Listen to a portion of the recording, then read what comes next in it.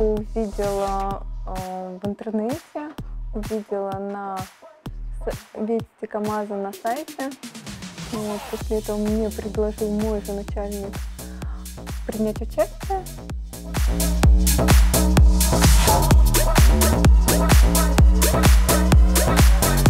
На заводе я уже три года. А на заводе оказалась случайно, если честно. Не могла найти работу и знакомые сказали, что есть хорошая идея прийти на завод, на КАМАЗ, что здесь, в принципе, можно устроиться. Я, конечно, не поверила. То есть, а, как я представляла себе КАМАЗ, я думала, что это такие бабульки лет по 70 уже работают всю жизнь создания, сначала создания КАМАЗа. Вот, и пришла, а тут оказывается очень молодежный такой коллектив, что мои коллеги, что в отделе по персоналу девчонки молодые совсем работают. Вот, и осталось. Сначала думала, просто получу какой-то опыт, временно поработаю, год, может быть, полтора.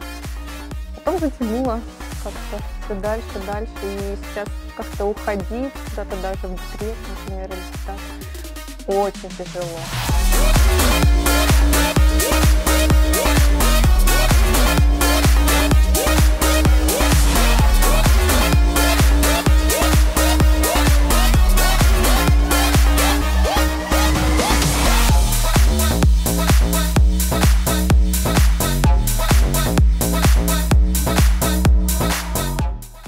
Работа мне моя нравится.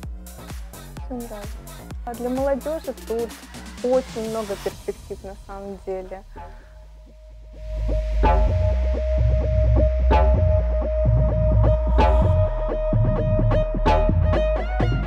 Должны быть э, поточенные, видите, чистенькие, новенькие. Вот за них я отвечаю.